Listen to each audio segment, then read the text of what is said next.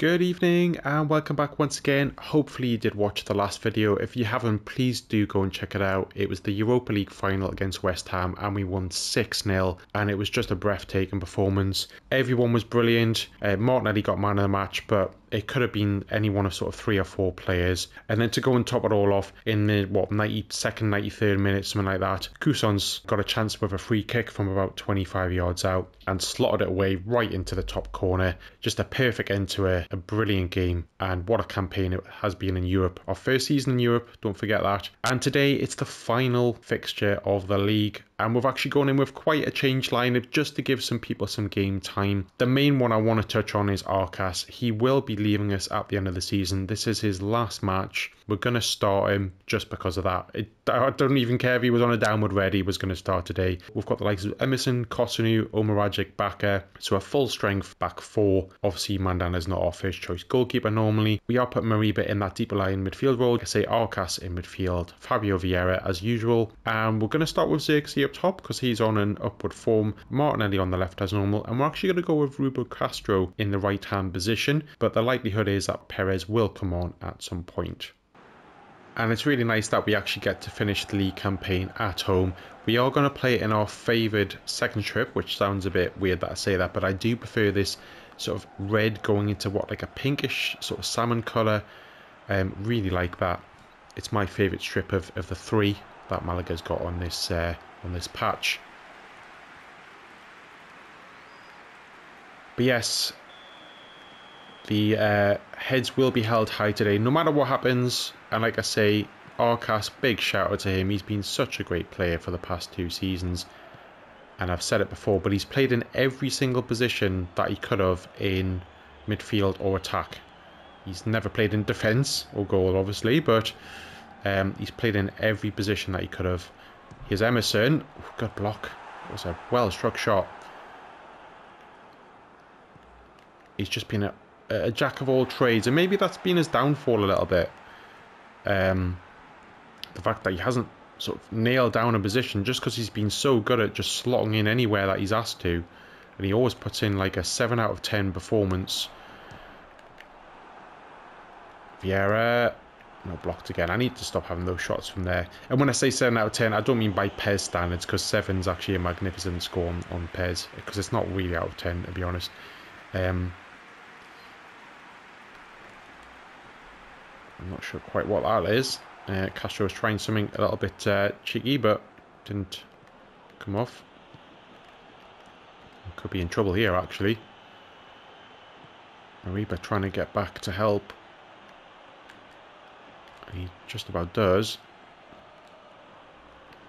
And he actually managed to get the tackle well away from Mariba there, ran the full length of the pitch to, to help there. Here's Castro, not on his favourite position on the right. Martinelli. Oh, just wide.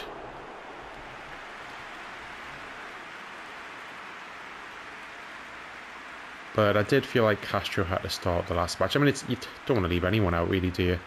Um,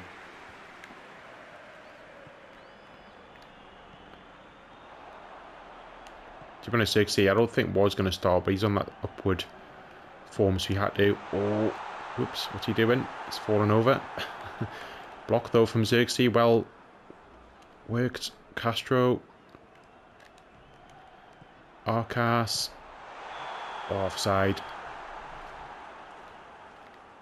I mean, I'm not going to push for it, but wouldn't it be great if Arcas actually scored on his his last match? Now, we have got that friendly at the end of the season after this, which is against what they call the old boys or whatever, and it's basically all of the players that are retiring that year. They, they pick the best sort of 25 or however many it is in the squad, um, and you can play against them. But I never actually, well, I'm, I'm not going to play it, I'm just going to sim it. Martinelli, oh, deflects corner though. And obviously, those retiring players do get regenerated and they uh, pop back in the game at some point in the next season. Oh, good save. Very good header from Kossounou. Vieira Arcas, no. I'm not going to score from there.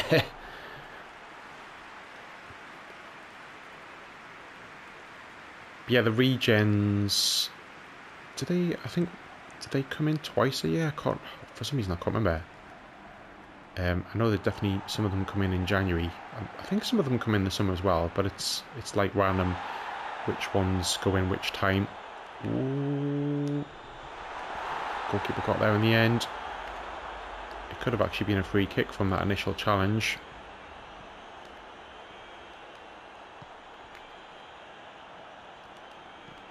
Not hitting the heights of the last match so far, that final, which was just, we were just slaughtered, West Ham. Was, here's Martinelli though. Zirkzee, 1-0. Lovely play from Martinelli and a nice sliding finish from Zirkzee. He seems to do that a lot. I'm not quite sure why. But really nice play from Zirkzee initially. Martinelli kept it and it's well, it should have been a simple tap in, but he uh, nearly made a mess of it.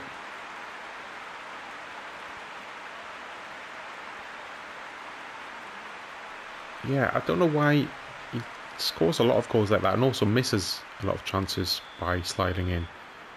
I don't know if he's got um, one of the traits which is like, uh, is it like acrobatic finishing or something like that? I don't know if it then makes them almost slip more but it actually doesn't affect how they take the shots. I don't know. It's it's strange.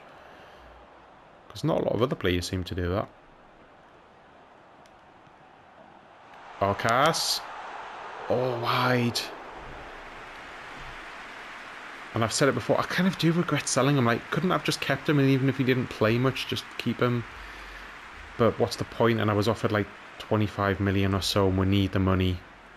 Um, so yeah, it was. The, I still think it was the right decision. I just I wish I could have kept him and made the money somehow else, but it's very hard to make money on this game. Here's Castro. Ooh, well played there. Castro just wide. I thought about chipping it, but the the angle was very narrow. To try and chip it over the keeper from that distance, it probably would have either fell into the keeper's hands or gone over.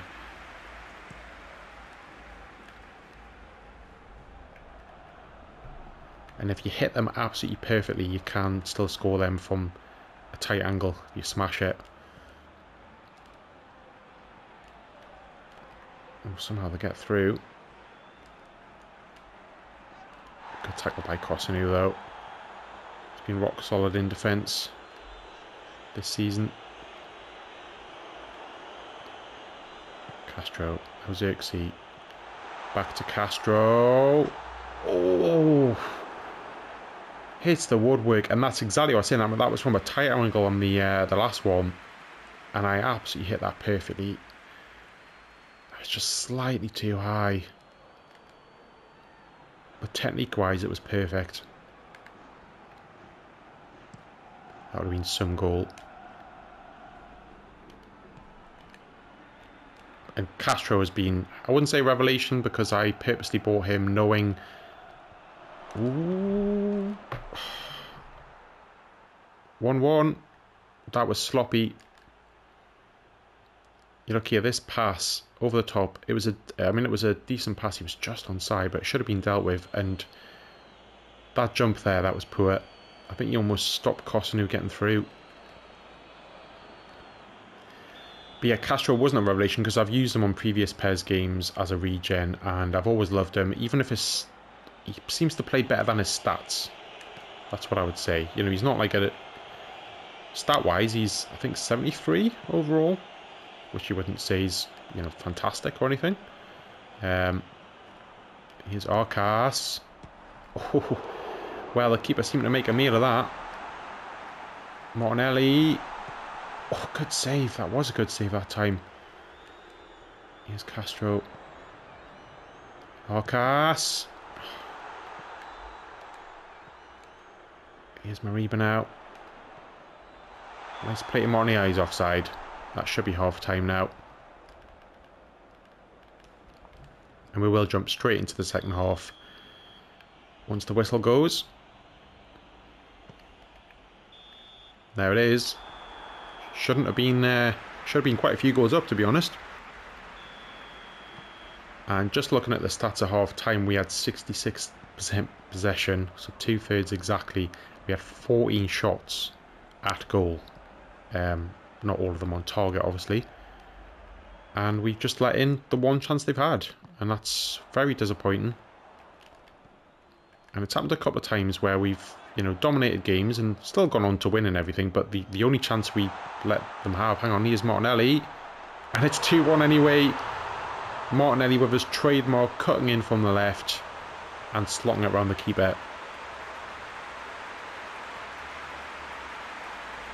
Really nice ball from Zirkzee. Not sure why the defender stopped, and it was just a matter of getting this on target.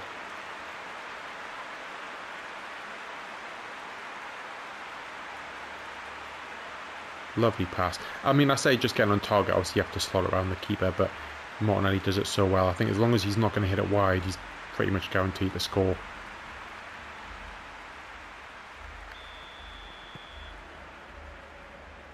Yeah, Castro's been such a good player this season. Probably done better than even what I thought he would, even though he's not exactly a revelation. I just thought he'd be more like, okay, get the odd game here and there. Nelly put him out on loan.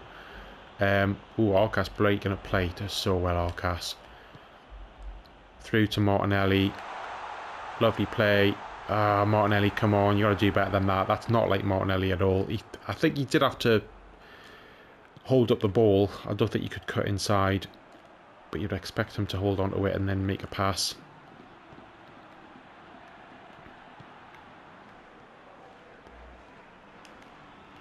Coussant was a brilliant find. He was free, remember.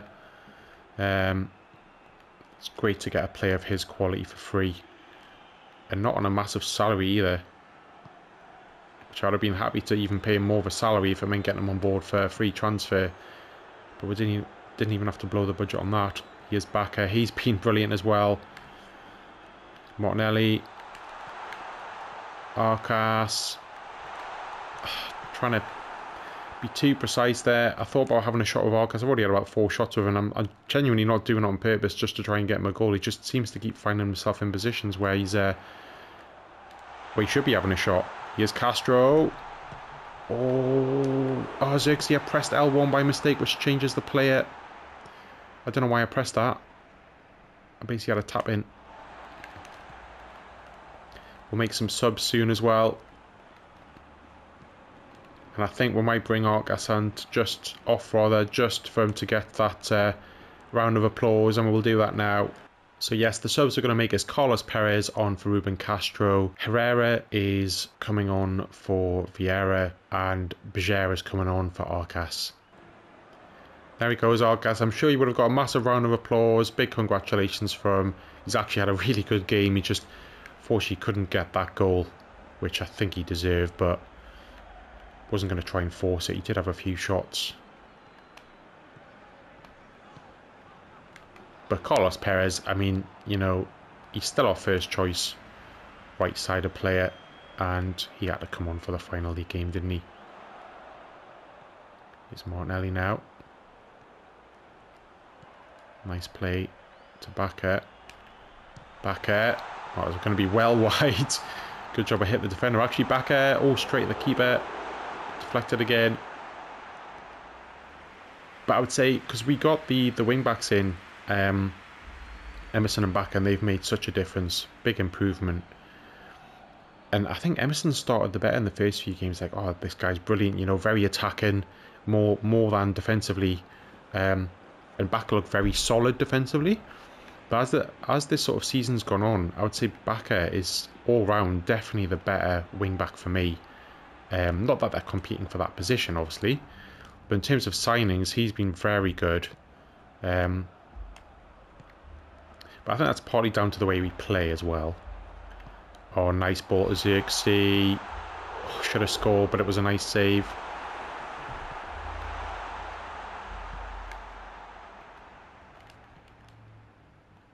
Yeah, the way we play is we, we don't tend to use the wingbacks an awful lot. We do have some games where we use them and they do contribute, but they're more there for just support, defensively mainly, the odd attack they get involved in.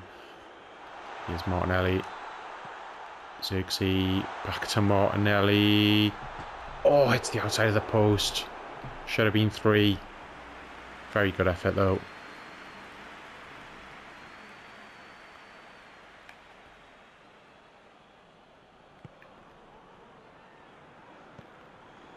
Yes, I don't think it's really a slight against Emerson at all. I think it's just that he has had some very good games. There's a couple of matches where he was like, to me, he was man of the match, but they're few and far between. Very solid otherwise. Um, but a lot of the games you don't tend to notice Bakker and Emerson, just because, like I say, the, the style that we play, the way we play.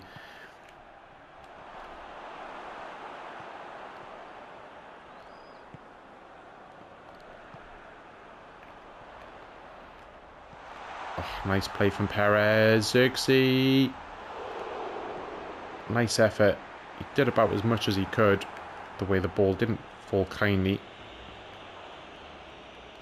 Here's Mariba. It's a poor challenge. Martinelli. Now Zirkzee.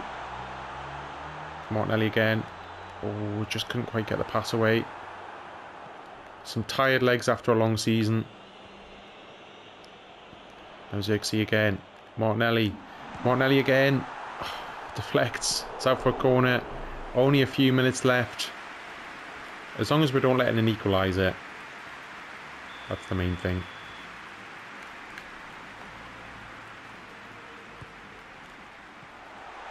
Oh. Acrobatic from Costa. He did score one like that this season.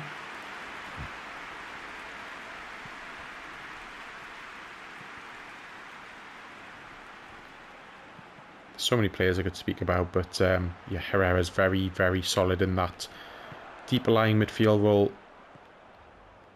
When you look at his stats, the amount that he does that you don't sort of realise, the tackles, the interceptions, the passes. Oh, good tackle there. And that could be it, and it is. A good way to end the season. It wasn't spectacular, but we got the three points. Herrera looks like he's got man of the match. And what a great season this has been. Martinelli get man of the match. Not really a surprise. Zirkzee, very good performance as well just a lot of dependable performances even when they're not spectacular throughout. And as you can see, just looking at the table, 112 points. The only points we actually dropped was one draw. We only let in 19 goals, half a goal a game, and we scored a massive 111 to get a 92 goal difference. Atletico Madrid finishing second, maybe a little bit surprised at Real Madrid third, Barcelona way down in sixth, and they got knocked out of the Copa del Rey early, I think, as well. Relegation wise, it's Girona, Leganes, and Real Valladolid that are going down. And team of the season is in, and Cousins, Vieira, and Zirkzee being in the team of the season. I mean, I agree them being in it. What about Martinelli? Martinelli has been so good, but maybe because he's only played half a season. I mean, to have three players in there is still very, very good. And just looking at the stats for the players, the likes of Carlos Perez with 20 goals, Martinelli with 19, but remember that's off only 20 games. He's scored pretty much a goal a game. 7.1 rating, how he didn't get in the team of the year. Vieira, just so good. 13 goals, 9 assists. The captain, ever present. Ruben Castro, like I say, not a revelation, but did way better than I would even expect him. I was thinking more there's going to be for the next season or the season after that he was going to get those sort of figures, but 28 goals, 23 assists as well. The likes of Mariba, Bajer, Houghton getting some goals. Cousins, outstanding player in midfield. Herrera, like I say, he doesn't get many stats, but he does a lot of the dirty work, breaks up play, interceptions. He sets the ball rolling, he sets the team up, so he may not got the actual final stats, but he's a very, very dependable player. Mudryk sometimes flattered to deceive. You know, some games he was amazing, and then he would have patches where two or three games he would just go missing. Extremely good player, and he's still improving. Got to remember that as well. Look at Zirkzee though, 27 goals. Even though Ruben Castro's pretty much almost taken his place, he's still got 27 goals compared to Castro's 28. Can't forget that, and he's got 18 assists as well. I don't know, sometimes I feel like he's not performing as well as I want him to do, but looking at the stats, he's pretty much on a par with Castro and he's actually got a slightly better rating average. So yeah, maybe I just need to take that count. And obviously Arcas, his last match there, he's still got 34 games. A lot of them would have been substitute appearances, but he managed to get 5 goals and 12 assists. Very dependable player.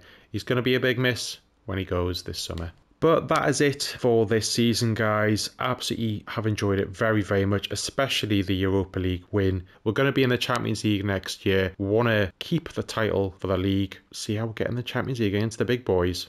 Now, the next episode is likely to be some summer transfers, some dealings, see what the young players coming back in that have been on loan are looking like, what sort of youth players could we bring up. We've got to balance that budget. We haven't got a massive amount to spend, and we've got to be very careful with the actual salary budget as well. No doubt some of our players will want a pay increase because of what they've done this season. And then what we'll probably do in the next episode is have a little bit of that transfer look at and also the first match of the next season. Thank you for those that have watched. I really do appreciate it. Please hit that like button, drop a comment down below, and subscribe to the channel if you haven't already, and join us for next season. Cheers.